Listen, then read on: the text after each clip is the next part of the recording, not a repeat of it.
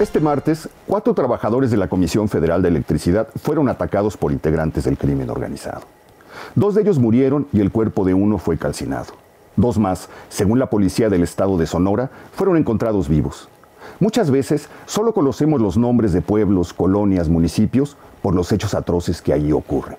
En los últimos tiempos hemos oído hablar de San José el Nuevo en Guanajuato, de Tolistlahuaca y Tepochica en Guerrero, de Carácuaro y Sinapecuaro en Michoacán, de Guadalupe, Jalpa y Apulco en Zacatecas, de Islahuacán del Río y la colonia Rusias Negras en Jalisco, de Boicona en Chihuahua, de Tlaliscoyan en Veracruz, de Refugio Hinojosa y Rancho Piedra en Tamaulipas, así como de los estanques o de Xochocotla en Morelos. El común denominador de todos estos sitios son las masacres, las ejecuciones masivas, los baños de sangre que los mancharon y los hicieron conocidos a nivel nacional. Aprendemos, Hemos aprendido la geografía de México a partir del horror. En esas clases obligatorias, en ese nuevo conocimiento topográfico dictado por las balas, se transmina la inmensa tragedia que está viviendo el país. Cada masacre, cada matanza, cada atrocidad pone de manifiesto una problemática distinta, algo que escapa al Estado o que vive de modo paralelo a este. El martes pasado, hacia las 9 de la mañana, se reportó al 911 que la comunicación con cuatro trabajadores de la Comisión Federal de Electricidad se había perdido en una carretera de Sonora próxima a la sierra.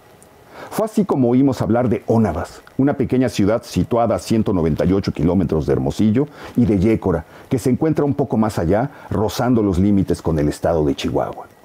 Según los reportes disponibles, elementos del Ejército, la Guardia Nacional y la Policía Estatal se aproximaron a la carretera Hermosillo-Yécora y encontraron la pavorosa escena, dantesca, de rigor.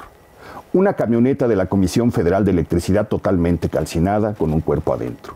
Un cadáver tirado a un lado de la camioneta y dos sobrevivientes que relataron a la Fiscalía General de la República el horror que habían vivido.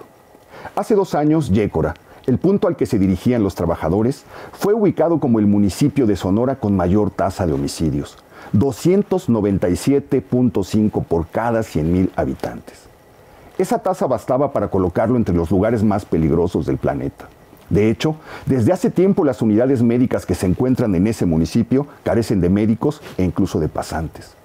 El gobernador Alfonso Durazo, antiguo secretario de Seguridad y Protección Ciudadana, que entregó un país al que la sangre le manaba por cada uno de los poros, bajo su mando se alcanzaron las cifras de homicidios más altas desde que se mide la violencia, admitió hace unos meses que la geografía de aquella región serrana convertía a los alrededores de Yécora en una ruta natural del narcotráfico.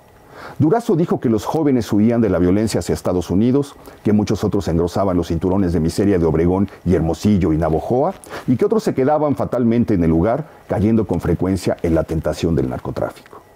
El titular de la Comisión Federal de Electricidad, Manuel Bartlett, había admitido desde hace más de un año que los trabajadores de esta empresa del Estado suelen sufrir ataques y el constante amedrentamiento de grupos del crimen organizado. Bartlett reconoció que había zonas del norte del país en las que ni siquiera era posible cobrar la luz o hacer trabajos de revisión y mantenimiento. Aseguró que en dicha zona se trabajaba de manera coordinada con las Fuerzas Armadas y las policías para establecer un escudo de protección que garantizara la integridad de los trabajadores. Sencillamente, nada de esto ocurrió ni en las inmediaciones de Yécora ni en los alrededores de Ona una región en donde chocan desde hace tiempo los grupos criminales de la línea, al servicio del cártel de Juárez y de los Salazar, que operan bajo las órdenes del cártel de Sinaloa. Apenas el 15 de marzo pasado se reportó en esa región el paso de un convoy del crimen organizado que se hallaba integrado por 16 vehículos, los cuales eran tripulados por hombres dotados de uniformes tácticos. Ese mismo mes se reportaron al menos tres enfrentamientos en la carretera, las autoridades encontraron vehículos baleados, uno de ellos con placas de Sinaloa, pero ningún cuerpo. De febrero a la fecha se han asegurado autos, armas de fuego, cartuchos de todo tipo y chalecos balísticos, rastros de la presencia innegable de los cárteles. A pesar de todos los focos rojos, los trabajadores de la Comisión Federal de Electricidad siguieron haciendo su trabajo solos. A esa omisión, a esa negligencia de las autoridades, se debe que hayamos agregado nuevos nombres, Yécora y Ónavas, a la terrible, imparable geografía de la sangre en México.